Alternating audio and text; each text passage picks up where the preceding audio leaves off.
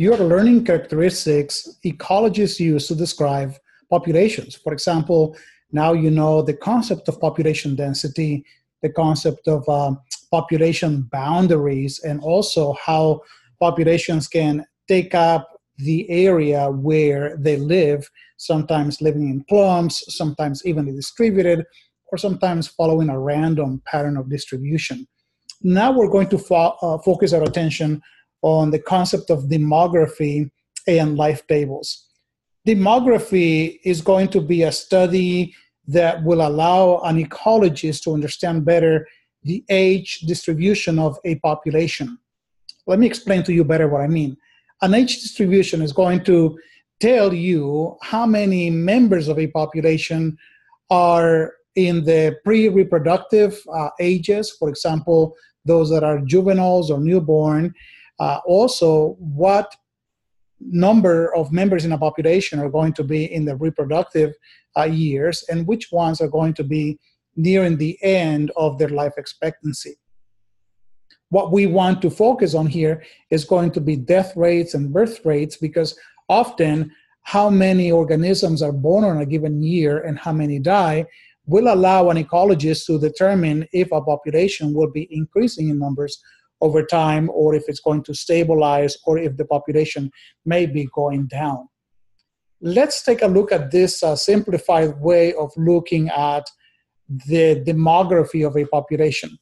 And so here we are looking at a table that is showing you a study and the numbers for this study of gray squirrels. This is a classic study done here in the United States by a team of biologists. And so let's spend some time understanding the qualities that are described on this table. The table itself is going to be known as a, a cohort life table. All these numbers here are describing what happens to a cohort. And a cohort is going to be all of the individuals born in the same year within a population. Since we're looking at gray squirrels, we can say, looking at this table, that on a given year, when this study was conducted, there was a total of 530 newborn gray squirrels. And what we do with this table is we want to follow how many of these squirrels live from one year to the next, to the next, to the next, for the entire life expectancy of these animals, which happens to be five years. There are no gray squirrels that live to six years of age because their DNA, the genetics doesn't allow it. And so, on the year of this study, when we began looking at this cohort, there was a total of 530. By year one, only 159 has survived. Then there were 80, next 48, 21, and then five. What we can describe using these numbers is qualities such as the survival probability from birth to a specific age. We can also take a look at the age specific mortality. And we can also take a look at the age specific mortality rate. Let's take a look at what happens on this table. So, year one, uh, I'm sorry, well, the, the year these animals were born, uh, that's year zero. There was um, survival probability of one, meaning that all of these 530 individuals were alive to begin with. We didn't add this table those that didn't uh, born uh, were not born alive or died you know before the study began. Uh, but what we can see is that if we go from year zero which was when the squirrels were born to year one only about 30% of those individuals made it. This 159 happens to be 30% of 530 and if you were to ask me okay what is the probability that a squirrel is going to make it to from birth to year three, and that is going to be only 0.9%. That's what this uh, column on the table is telling you the probability from birth to a specific age that a squirrel will be alive. And if we look over here, the percentage of uh, squirrels that made it to year five, which is the longest, the oldest they can be, is going to be only 1%, only 5 out of 530. Let's take a look for a moment at the age-specific mortality. These numbers are really straightforward, and basically they are telling you for these squirrels that were born on a given year, 371 died within that year, meaning they never turned one year of age. If you look at year one, year one, we began with only 159 of these squirrels. And what we're saying is that 79 out of these 159 will die during this year of their lives. And if you want to go to year five, for example, this is a sobering reality. Uh, there were five, only five squirrels surviving out of the cohort of 530, and all of these five are expected to die uh, at this fifth year of their uh, age, of their lives. And uh, we also have a way of expressing those numbers in terms of uh, mortality rates. So if we look at these uh, 530 squirrels that we began our study with, the total of the cohort, we're saying that there's going to be a 70% mortality rate for this age, year zero. Now, if you look at these 159 and 79 of those died, that corresponds to 50%. 50% of these squirrels will be dead within this first year of their life.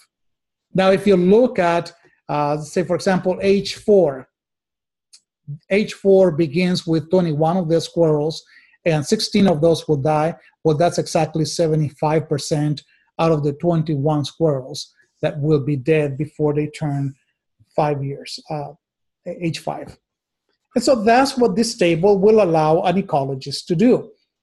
Remember, we call it a cohort life table because we're following uh, a number of individuals born in the same year and how many of those are alive throughout the rest of their life expectancy.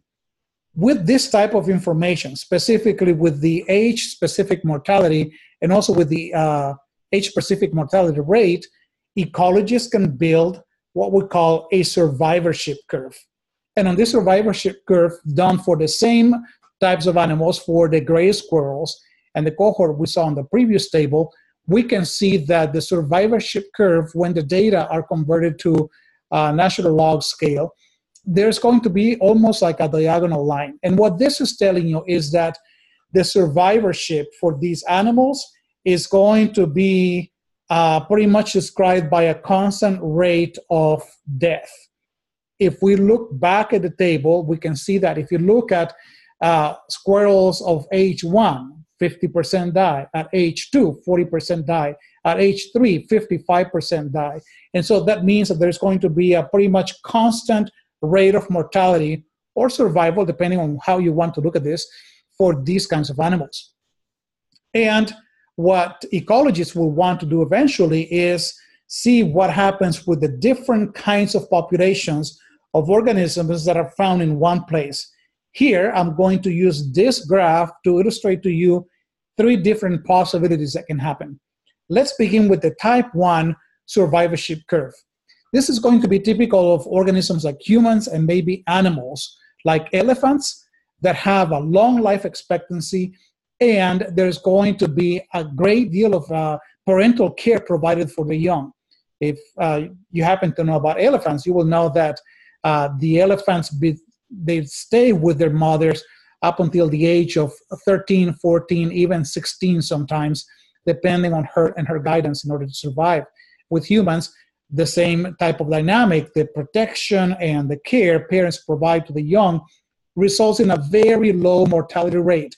And that's what we see here the percentage of maximum lifespan and the number of survivors. And so most infants are going to live through all of their infancy and all the way even to the uh, middle ages for humans uh, in, in most societies. And mortality doesn't become a significant factor until much later in life. That is when the number of survivors for a cohort will be going down in a rapid fashion. And that's because the older we get, there is a greater risk for uh, developing diseases of uh, genetic nature like cancer. There's also a greater probability that something has happened in our lives, an accident, or something that has impaired our quality of life in our uh, older years. And so that's why mortality increases later in life. But if you look at early in life, mortality rates are going to be really low, meaning that most members of the population will still be uh, uh, alive. Now, if you look at this type 3 survivorship curve in contrast, we will see that most members of some populations die very early on. And this happens with many species that reproduce in large numbers and have a short life expectancy. Think, for example, about populations of mosquitoes. Think, for example, about this organism shown in this picture, which is going to be a mussel. And the same can be said about many things that live in the ocean, uh, including jellyfish, including all different kinds of mollusks, arthropods like shrimp. Most of them are going to die really early on. Here, there's no parental care for these individuals to remain in a community, meaning the species not to go away, it's a numbers game. And so the greater the numbers, the greater the birth rate that they have is going to ensure that at least a few of these individuals will survive throughout most of the lifespan. So you can see here that very early on in life, the majority of members born on a certain year for a population are going to be dead. And then we have the case of the squirrels uh, not only gray squirrels, but these little animals you'll see here, which is a ground squirrel, they're going to have this type of a steady survivorship or death rates. And uh, this also happens uh, in birds for many bird species. So I'm talking about songbirds, sparrows, uh, finches. I'm thinking about uh, vireos and many other beautiful birds. They have this type of a steady decline throughout most of their uh, lifespan. And uh, so remember, with these animals, actually, the constant mortality rates is going to be mostly subject to events like uh, random events, like a predator came and uh, found one of the uh, two-year-olds. A predator can just as easily capture a three-year-old or a four-year-old squirrel. So the chances of dying are not related to age, but mostly related to the place where these animals live.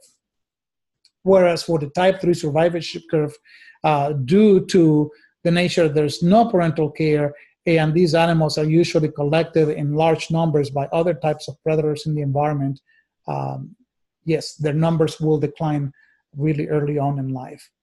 And uh, that's what I wanted to share with you with regards to demographics and um, life tables and the survivorship curves that can be made from those uh, types of data on a survivorship um, or life table.